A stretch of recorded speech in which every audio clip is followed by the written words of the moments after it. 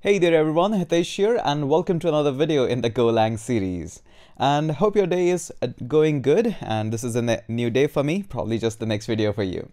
Let's go ahead and the final topic that we are going to touch in this section is going to be struct and structs are really important because they are the alternative versions of classes and we don't have classes in Golang, we have structs and they are super useful. Now before we go further in this video, let me remind you one thing that I will repeat the structs uh, probably two more time at least. Once we have understanding of the functions, then we again will come back onto structs and we'll learn a little bit more.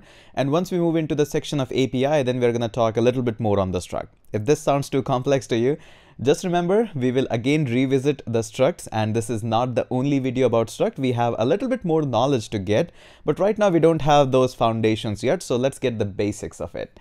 Let's go ahead and move on. And just like always, we'll have a new folder and this will be my structs. My structs yep wrote that correct. And let's go ahead and create a new file into this. And just like always main.go let's open this file into integrated terminal. Just like always. I know this is so boring but we have to do it always. I have no other option. And let's say this is my structs. And structs are really easy to work on with and you'll find that yeah they are like super easy to go work with that. Let's have a package and after the package we'll have a function which will be saying the main and let's have fmt.println and that will say that structs in Golang. Now a couple of interesting things that you should really absolutely know about it uh, that there is no inheritance inheritance in Golang. This is the most important thing and this is the most foundation. And apart from this, also there is no super uh, or or the concept like parent. No, we don't have these. These are the concept of classes.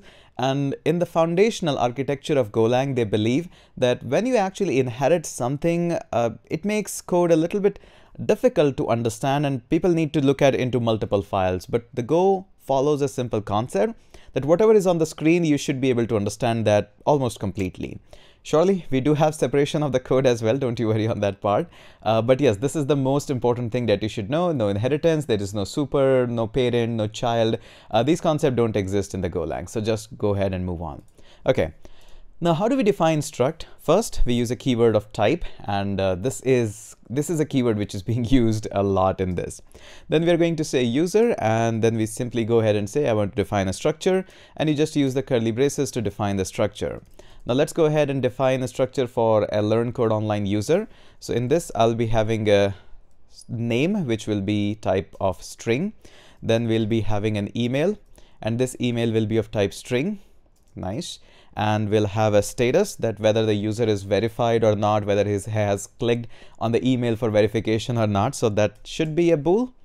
And after that, we'll have an age and I'll hit the tab and I'll say int. Now, as you can see, these are not properly aligned and this is the way how we do it. As soon as you write the name and hit the tab key, it will move on to your different tab and then it will get this. But the good thing is that as soon as you're going to save this, this automatically will line up much more easier to read up. Now, a couple of things that you might have missed up here. Notice here I have used the user as capital U. This is the most common thing because obviously this is like a class or a template that you'll be using. So it needs to be exported out.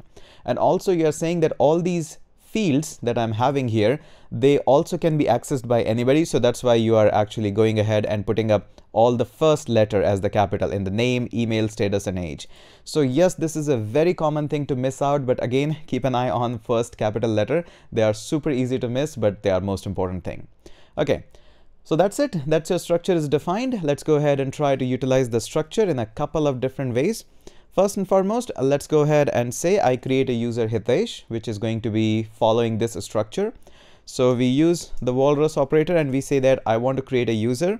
Now you have to provide all the data in the similar fashion that you have defined a structure. So in this case, first it's asking me for name. So I'm going to go ahead and say this is my name. And then it asks me for email. So I'm going to say Hitesh at the rate go.dev. I don't have this email, but I wish I could have. but let's just go for this one as of now.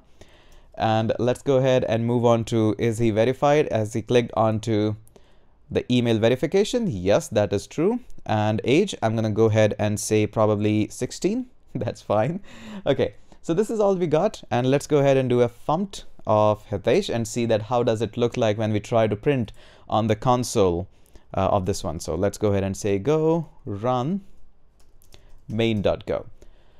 And uh, there we go. So this is all it. Pretty simple. A simple curly braces and you get all of your struct or structures just out here.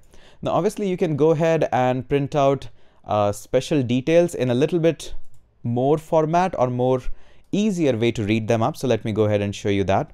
So what we can do is we can simply go ahead and say I want to print not ln but print f and and I'm gonna say oh I need to say it in Hitesh details are and then you can go ahead and just say that I want to grab all the details. So in this case, you can use the person. Remember we were using the sign of percent V, but in case if it is a structure, then you can use plus V. This will give you much more detail and don't worry, in just a minute, we're going to print that out and it will give you much more detail in depth about it. So let me go ahead and if I can write my name, there we go. So this should be all. If I can put a comma, let's go ahead and see what's the difference between them.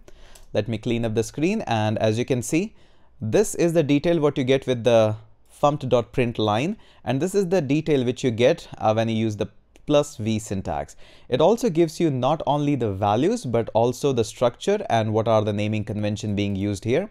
So this makes life sometime a little bit easier. So this is a very common syntax. You'll be using it a lot. And in case you want to use or want to see just the one value out of this entire structure, obviously you can do that. There is no big issue. Let's go ahead and duplicate this line. And we're going to say that something like this name is, and then we are going to use percent %v. Again, if you want the entire details along with the parameter, what like name, email and everything, then use percent plus %v, otherwise just go for the percent %v. Name is, and we're going to say and email is, and again, another key placeholder, percent %v. Let's go ahead and remove all of this and let's fill in the blanks. So the first one is Hitesh and we're going to say dot and make sure you use the capital letter because they are being exported. And another value that we need to fill up is email. So dot email. There we go. Told you. Really, really simple, really easy. Let's go ahead and clean this up and run this one. So it says uh, name is Hitesh, obviously, and the email is hitesh at the rate uh, go.dev. I wish, but this is not my actual email. So there we go. This is the really basics of it. And the only thing that you should remember or keep an eye on that there is no inheritance first and foremost. And the second thing is keep an eye on the uppercase letter. Now, right now we don't have knowledge about the functions or aliasing. There are a couple of things and syntax that goes on in here. For example, you can go ahead and add these backticks and do some fancy stuff up here. We will definitely do that, but in the API section, not just up here. Let's go ahead and catch up in the next video.